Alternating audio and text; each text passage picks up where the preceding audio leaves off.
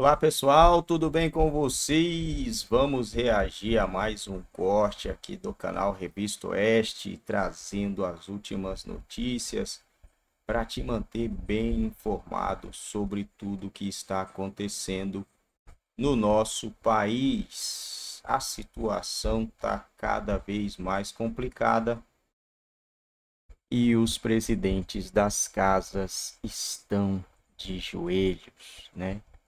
Um pediu desculpa pelo atual mandatário. É sério isso?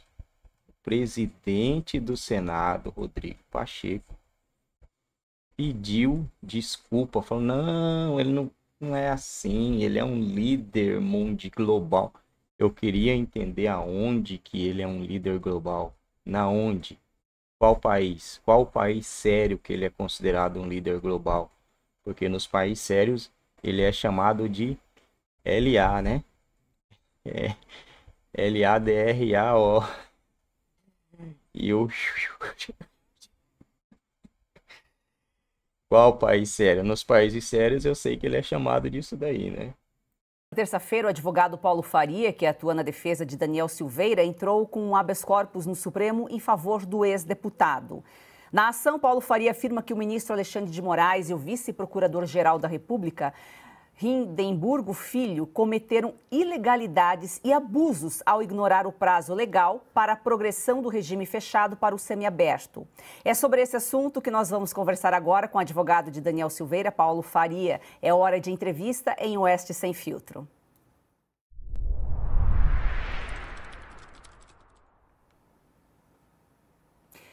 Daniel Silveira está preso desde fevereiro do ano passado. Doutor, há um erro aí de cálculo. O ministro Moraes não quer considerar o período de 100 dias que Silveira ficou em prisão domiciliar. É isso? Boa noite.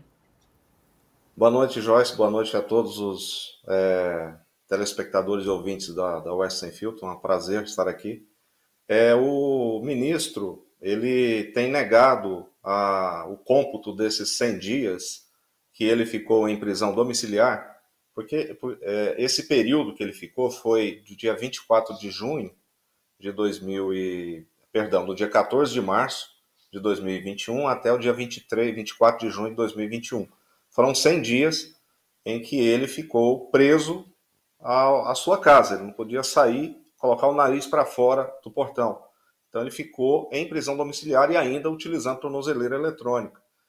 E aí nós fizemos os, os pedidos é, com base na própria jurisprudência do STF e do STJ, que quando há a violação do status libertatis do, do preso, do, do, daquele que está em medida cautelar, no caso a prisão domiciliar, que é a substitutiva da preventiva, né, que a preventiva é cumprida em presídio, domiciliar na residência, ele simplesmente ignorou, é, juntamente com o vice-PGR, que também vem é, ignorando esse, esse direito do Daniel. Então, ele, ele está, mesmo com esses a supressão desses 100 dias, ele já está a 147 dias além do prazo para progressão de regime. Isso é uma ilegalidade porque viola a, a lei de execuções penais e também a, a própria liberdade dele.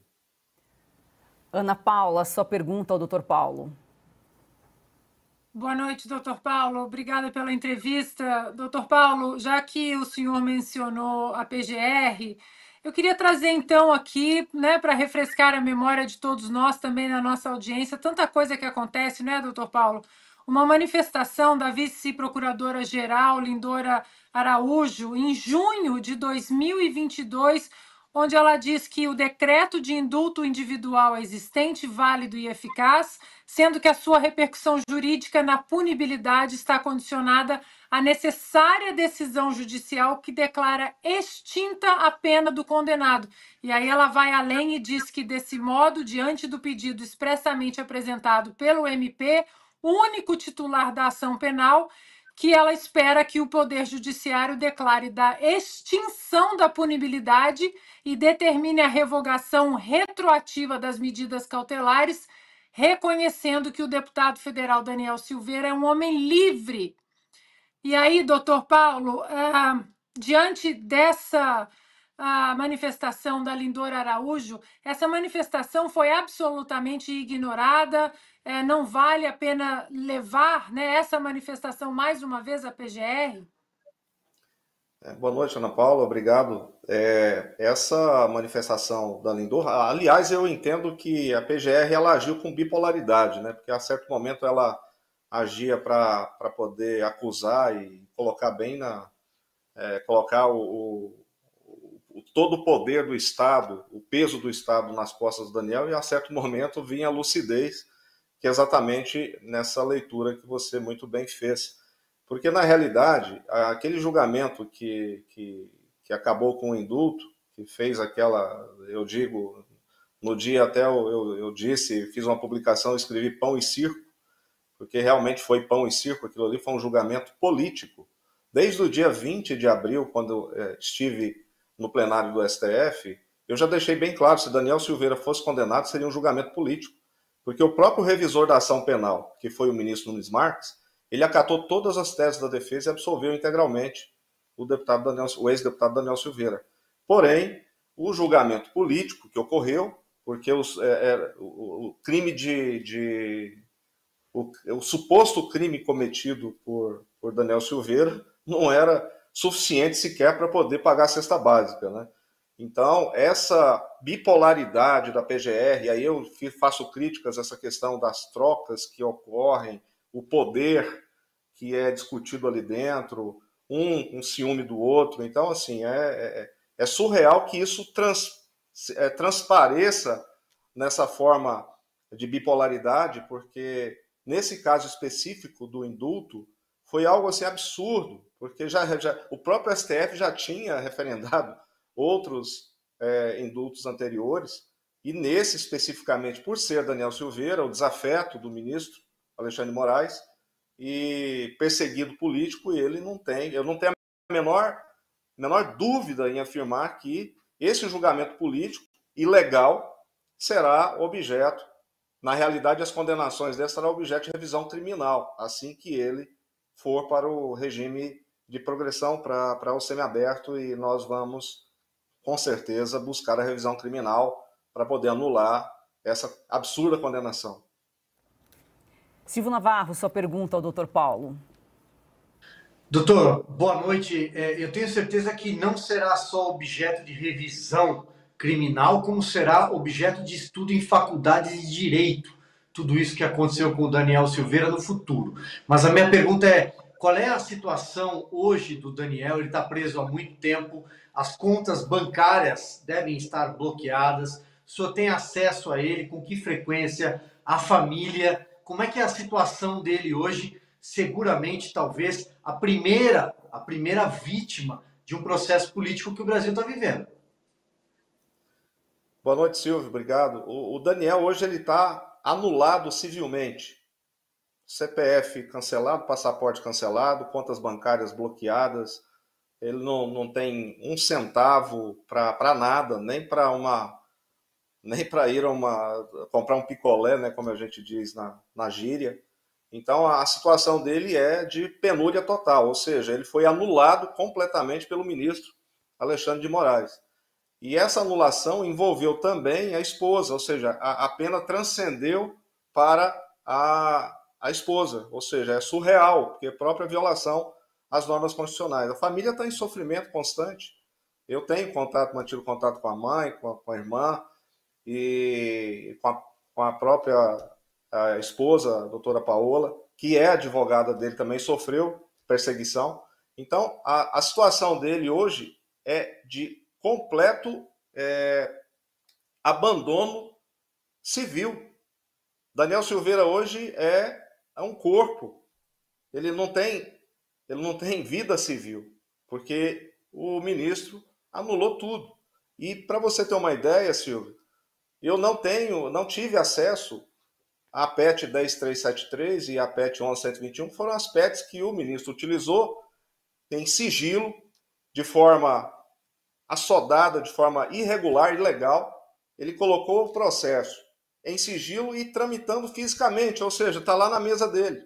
Eu não tenho acesso, solicitei o acesso é, pela via eletrônica e foi negado, e agora a última, a última dele aí foi que se eu continuar com essa exigência de requerer o acesso aos autos, eu vou ser multado em 10 salários mínimos, além de ter me desrespeitado e, de, e, e dito claramente que eu estaria utilizando, é, violando o Poder Judiciário e utilizando fantasias para poder requerer. Mas eu quero deixar claro o seguinte: o processo é eletrônico, as decisões são eletrônicas, as comunicações são eletrônicas, mas ele faz questão de transformar isso em físico mandar um funcionário ir lá no protocolo, fazer o protocolo, voltar para o gabinete em papel, para poder dificultar a vida do advogado. Não só com a, com a defesa do Daniel, mas com todos os outros que estão aí em sigilo, correndo por meio físico. Em um pleno século XXI, é, o STF está na idade da pedra lascada. Ou seja, está dificultando a vida do advogado. Isso, inclusive, já denunciei ao AB, que infelizmente nada fez até o momento. Então, Daniel Silveira hoje, civilmente, ele é anulado. Então, é, não tem nada, não tem patrimônio, não tem conta, não tem renda, não tem rendimento, não tem nada. É lamentável que, que no Estado Democrático de Direito, que, entre aspas, utilizem esse tipo de direito penal do inimigo para poder anular as pessoas, infelizmente. Agora, as perguntas aqui do estúdio, vamos começar com você, Piotr.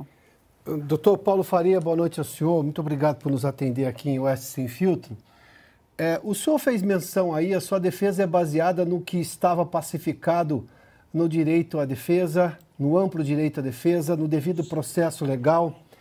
Mas, doutor, me permita a pergunta: uh, como usar de legislação pacificada, de Constituição, de Código Penal contra decisões que são completamente, completamente aleatórias a tudo isso. Eu, eu tenho dito aqui, e faço apenas uma, uma referência, que ser professor de direito hoje é, é, talvez uma das profissões mais difíceis, porque a mais difícil é, é, é ser advogado de uma das pessoas presas ah, ou incluídas nesses inquéritos do Supremo Tribunal Federal que estão sob os cuidados do ministro Alexandre de Moraes. Porque uma vez você usa a lei para ensinar, mas não quer dizer que nada daquilo pode ser aplicado a depender da decisão do ministro. É, o senhor acabou de dizer que o senhor está proibido de ter acesso aos autos. É, eu nunca entendi como que a parte não pode ter acesso aos autos, mas o senhor está dizendo claramente isso e recebeu uma ameaça, inclusive, do ministro Alexandre de Moraes, que se o senhor insistisse ainda vai ser punido com uma multa por litigância de má-fé, inclusive, né, com 10 salários, uma multa de 10 salários mínimos. É, e a OAB também não se manifestou. Doutor, eu, além de ser solidário ao senhor, ao, ao seu trabalho, independentemente da causa, porque o senhor não está conseguindo trabalhar, como o senhor faz a defesa? Como é, a quem o senhor recorre e ao que o senhor recorre? É, boa noite, Pioto. É, eu recorro a Deus, né? A oração, porque é impossível você fazer uma defesa técnica sem acesso aos autos não é bem que ele proibiu, ele está dificultando o acesso. Na realidade, se trata de uma proibição indireta, porque se você. É, é, o que, que ele quer? Ele quer que eu vá lá no gabinete dele, bata na porta e peça licença, excelência, por favor, me dê o acesso aos autos. Isso eu não vou fazer porque isso aí é, é, é, é, é o cúmulo da humilhação da advocacia. Porque, infelizmente, a OAB, ela Recentemente, até o presidente da OAB é, disse que o ministro Alexandre respeita a advocacia. Eu não sei em que país ele está ele, ele tá, ele tá vivendo. Só, só pode ser em Nárnia, não é possível. Porque o ministro ele destrói o estatuto da OAB diariamente. É violação de prerrogativa em cima de violação de prerrogativas. E nós, defensores, não só a minha pessoa, mas também todos os colegas advogados, e me solidarizo com todos, nós estamos sendo cerceados no direito de exercício da advocacia. Nós não conseguimos exercer a advocacia da forma como está na Constituição, no artigo 133, e também como está no nosso artigo 7 do, do, do Estatuto da OAB. Então, esse, essa dificuldade, ela, ela impõe uma, uma, uma forma inusitada de defesa, porque, primeiro, porque às vezes nós somos intimados pela imprensa, nós não temos acesso à decisão, porque a decisão é sigilosa. Mas várias vezes, já denunciei isso várias vezes, eu recebi a decisão sigilosa de jornalista. Por exemplo, da PET 10373, que é sigilosa e físico, tramitando em físico. Então, eu até várias vezes já, já denunciei para a OAB que eu sou intimado não pelo Diário de Justiça, não por meios eletrônicos, mas sim pela imprensa. Isso é muito ruim porque lá dentro tem alguém que está vazando decisões para os jornais, para a imprensa. Isso é lamentável. Isso prejudica a defesa. Porque, porque desculpe, nós somos os últimos. É, parece que nós somos advogados corvos, os últimos a saber da, da, da, do que anda no processo. Então, é profundamente lamentável esse cerceamento do direito do exercício da advocacia, a omissão da OAB em defender as nossas prerrogativas, e aí, Piotr, para poder fazer a defesa só através de orações, porque eh, nós não temos acesso, como que eu vou, até hoje eu não tive acesso dos bloqueios da conta da doutora Paola, que é a esposa do Daniel. Eu não sei as razões, porque não foi me franqueado o acesso. Ele diz que, que permitiu o acesso, mas lá no documento que eu recebi está lá o nome da advogada anterior, o meu não está, então não, não tem acesso. Mas ele quer que eu vá lá, eu não vou. Por quê? Porque é direito do advogado eu estou em outra cidade, eu estou em Goiânia e lá em Brasília, não tem necessidade nenhuma de eu ir em Brasília para poder ter acesso aos autos, sendo que ele pode ser enviado por PDF, por e-mail ou por pelas nuvens, como eu recebo decisões dele mandados de processos sigilosos por e-mail, mas a, os autos não podem ser enviados. Então, a defesa está absolutamente prejudicada e desde a época da, da ação penal 1044, da PET 9456, que nós vinho, vim, é, estamos enfrentando problemas de acesso, problemas de defesa, e tudo isso, Piotr, está devidamente registrado no Conselho Federal da OAB, porque eu vou tomar providências também contra o Conselho Federal por omissão. E agora, Augusto Nunes.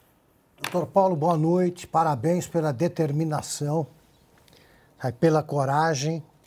Eu pergunto o seguinte, doutor Paulo, primeiro uma constatação. O ministro Alexandre. Bom, pessoal, é isso aí. Fico por aqui. Não saia sem deixar o seu like, sem deixar o seu comentário. O que vocês estão achando de Lira e Pacheco? Será que eles devem alguma coisa? Será que eles estão amarrados em alguma coisa, gente, para não fazer a vontade do povo brasileiro nesse momento é a vontade do povo brasileiro, né? É tanto a vontade do povo que tem deputados aliados do governo que está querendo o impeachment do presidente Luiz Inácio da Silva. E eles estão de joelhos, né? Olha aí, ó, a liderança global que o Pacheco falou que o atual mandatário é, ele é líder global desses países aí, ó. Só país de primeiro mundo, né? Só país multimilionário, né? Ó, nossa. Nossa, nossa, nossa, gente. Isso aqui tem que respeitar essas economias aqui, né? Essas economias globais aqui tem que respeitar.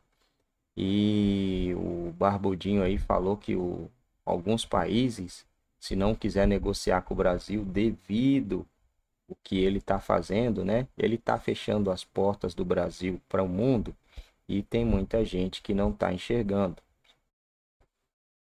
Já estão querendo sancionar o Brasil, certo? Só que aí tem aquele país lá que ele vai começar a negociar, né? Então ele está forçando nitidamente a barra, forçando nitidamente, está apostando e apostando alto para ver se os deputados vão reagir ou não, né? Tá apostando muito alto e sabe que o, o pedido de impeachment não vai passar, não vai passar, senão não apostaria tão alto desse nível.